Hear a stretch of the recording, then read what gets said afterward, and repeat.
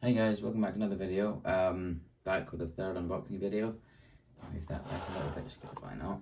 Um, so, not going to stay when, but it was my birthday a while ago. Uh, I uh, got a new loco and a new uh, LNE Artique coach. Um, so, I did post, I so I did two unboxing videos um, a while ago. I got that class 20 and that class 92. This one, new train, this is brand new, so it's my it's first owned. Um, I've never owned one of these before. I've seen a couple of these. I actually cabbed one of them, so there you go. There's a big hint, big, big hint. Um, probably actually gave it away, to be honest. Um, I did say earlier, it's a new livery I've not had, and it's a new train I've not got. It's diesel, so um, did no guesses, but I'll reveal it now.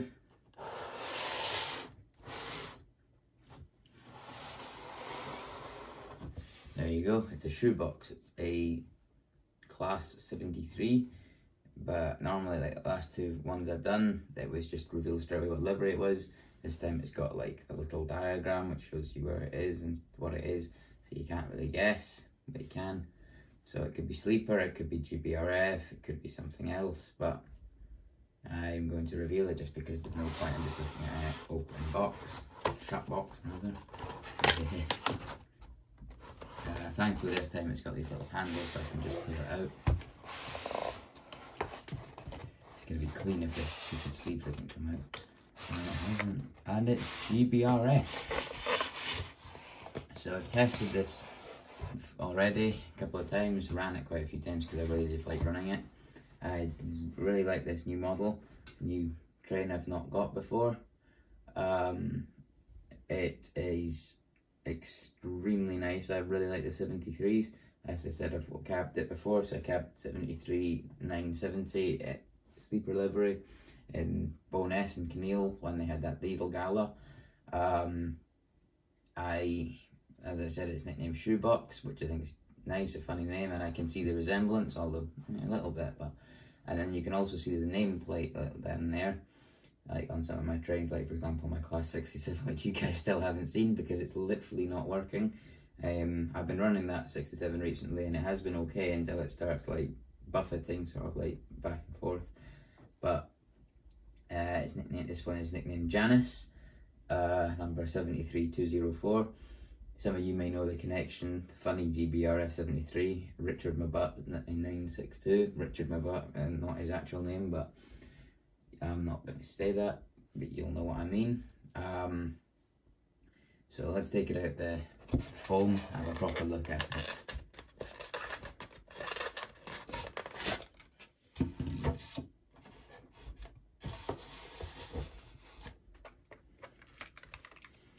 So it's got the beautiful little 1A in the middle, the two windows, the, the grey horns. And what I really, really like about this model is the attention to detail because it's got the wires going around the side or on the sides, the buffers, it's got it's still actually got its front and back coupling. Um, and it's got like the 73204, that's always a nice touch when you can see like the number on the side of the train and then like, big bold letters, or numbers rather. And then there you go, I'll put it in focus, Janice. Um, a really nice little bit of nameplate. Um, being really careful, I get scared when I'm holding these. Um, same on the other side, it's got the wires, cables, whatever you want to call it, on the sides. I'm not holding it properly, my bad. Uh, it's not got 1A in the middle this time, but and it's got the wipers, it's got everything you need on the 73, and it just looks unique, iconic. It's perfect and this time it's actually good. I've got both the couplings, which I always like to see. It can do a mixed freight, it can go either side. Um, I haven't treated the top, my bad. Uh, yeah, it's got the grill, the fan, don't know what these two white bits are, panels I guess, but it's, it's glorious train. I do really like 73s, one of my favourite trains. I'd love to ride one, like on the sleeper service. I'd love to see one of those little network rail trains. I don't have any network rail carriages, so I'll just be freight trains and maybe a rail tour or two with this. I'm also thinking of maybe doing like a diesel gala um, in a bit. So like maybe with my 66, my 73. I need to get my 37 back. I accidentally left it at a friend's house. So, right, we're going to take it over to the layout now. Give it a run. You can have a look at it, analyze it, and let me know what you think in the comments. Alright, by the power of jump cutting, let's go. So, here now at the layout, and there it is, 73204, running merrily as always. Short little train, just running like a local. Sniffy little scamp. Quick. Just lucky. I do really like the 73s, they've got their own iconic, unique look. And the GB Rail Freight livery on it that just looks really good. And I couldn't be prouder to add a GB Rail Freight 73 to my layout. I might I'm considering getting like a 73, a 37 or a 66 again. I'm trying to get some RHTT wagons as well, so I can have a typical RHTT train. Um, I also been thinking of other things I need to add. I'm thinking more detailed buildings, But not just that, I also want to get some stuff like um, multiple unit, because I think I've only got two, which are the 153 and 158, and actually technically the 390. So I'm thinking of either a 156, a 142, or if I was rich enough, a 150 slash 1. Um, or getting some more AWS wagons, because I've been wanting a couple of them for a while to make the 66 look more realistic. So let me know in the comments if you have any opinions on what I should get next. Here at the freight yard and I've got my 73 running right next to my 35. I've actually got the 35, the 20 and the 47 all on the siding just make it a little bit realistic. Sorry about that, I might have actually just nudged it there. Uh, looks a bit like a crew heritage railway siding. Really nice. 73 darting around. It just looks so cool, the 73 here on my layout. I'm really happy with it. It's a really, really, really good purchase. And should be proud to have one on my layout. Just great addition to the layout. Now we're at the bridge, where some train spotters could be. Just watching the new addition to the layout running around.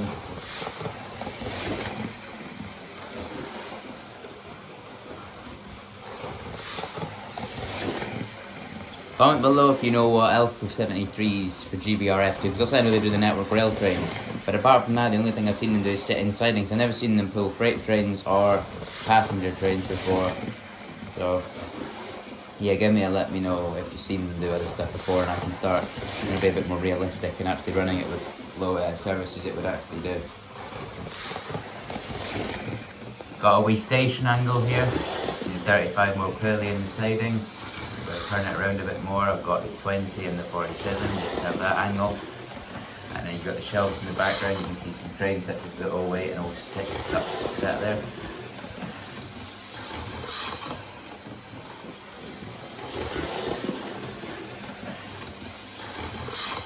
Oh, Comment below if you think I should do more model railwaying as well, because I'm really starting to get back into model railway now that the shelves are up. I can just put my trains on easily, track them away again and just come back in and some trains. So I posted the 92 earlier with the 66. Comment below also if you like that video. And I also apologise if I say comment below a lot, that'll probably become a quote. But it's just because I want to be interactive as possible with the channel. So the 73's got a big challenge, it's going to pull not one, not two, not three, not four, but eight car passenger train. With my six LNER coach, which my new one is on there. And and that's it, oh, good. Got a bit too fast, put down a little bit. But it's really satisfying to see those coaches flying by. Yeah, 73 just handling it just like a day job. Really good local, really good train.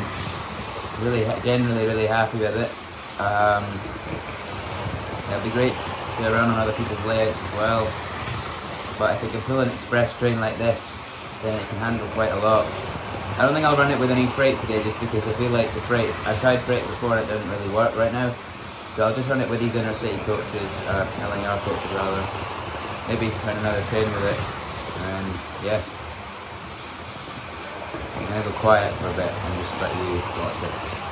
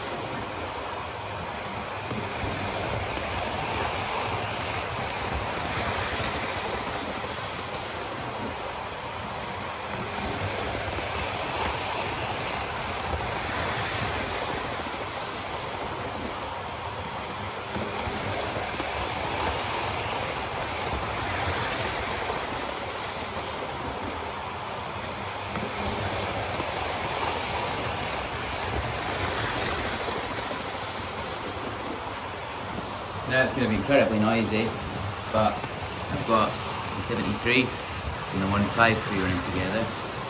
Uh, looking cute. Big 73 powering with a big brake, passenger express service. And 153 may burn like a little shuttle service.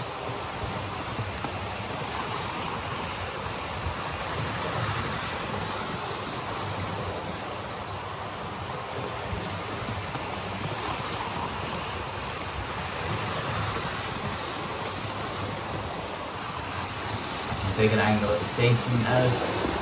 73 in the distance and then the one by the past.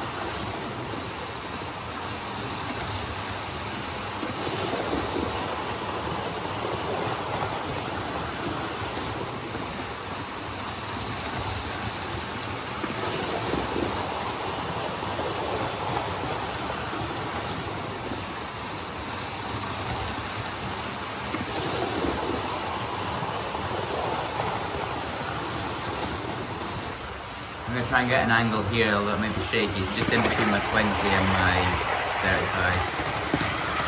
Can't really the 153 much, but I'm just uh, going to have a 73.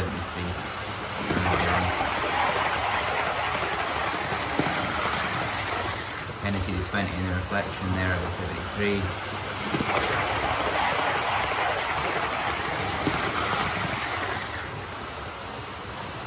I really like the 73 overall and it's been a great addition, uh, great purchase. Really realistic, really accurate. That's what I love about these model trains, just the realism of them. But I also think the new Intercity uh, LNER coach will be perfect. Just, I like having more coaches just make more express trains. And having another Intercity LNER coach, sorry, is going to be great. And as you can see, I can never do a express service. Overall, I'm really happy with the purchase of 73. I think it's going the last angle I get. Um, having it on the layout gives me another train, gives me more variety, more livery. Um, it's going to be great for like galas. I've also got a friend who's got like a siding layout, so it'll look really good on there because it's going to spend time in like Tonbridge West Yard Junction, West Tonbridge West Yard. Um, no, I don't have any cab detail, I, I think they're really little. Like a nice driver, that's my second train with the driver after my 66. So overall, it's a great. I'll be able to some freight services, some express services on it, diesel galas, and all that. And running with the 153 alongside you can't see it. It's good, nice little shuttle service along with the big express service, which makes it look accurate. So, yep, really happy with it. Uh, but I think that's going to be it for the video. I gotta go do some stuff. I'm gonna try making some shorts with it tomorrow or something. But I might be, I might make one of those videos where like you put your own audio over it with another thing. I already done the 158 and as you can see that got really popular with about 1.5 thousand views. So I might do like 73 or the 47 or something like that. Anyway, thank you all for watching. I'm probably gonna make this video premiere, so you'll probably be watching it premiering right now. But uh, yeah, thank you for all watching. Uh, thanks for all support as thank you for watching if you watched the 600 slash 550 slash 650 slash 500 subscriber special that was completely delayed. And thank you for watching that too. Yep. See you next time.